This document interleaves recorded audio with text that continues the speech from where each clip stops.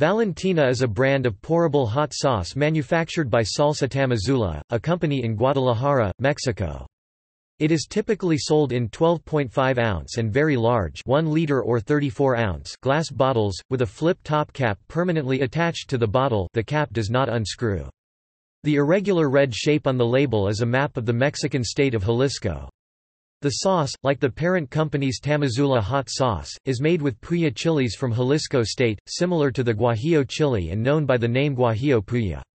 Valentina is described as thicker than Tabasco sauce and less vinegary, with more chili flavor.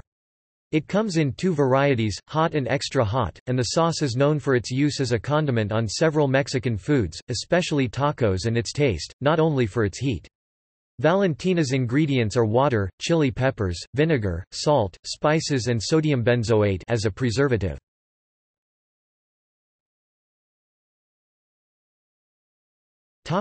See also List of hot sauces Scoville heat scale Food portal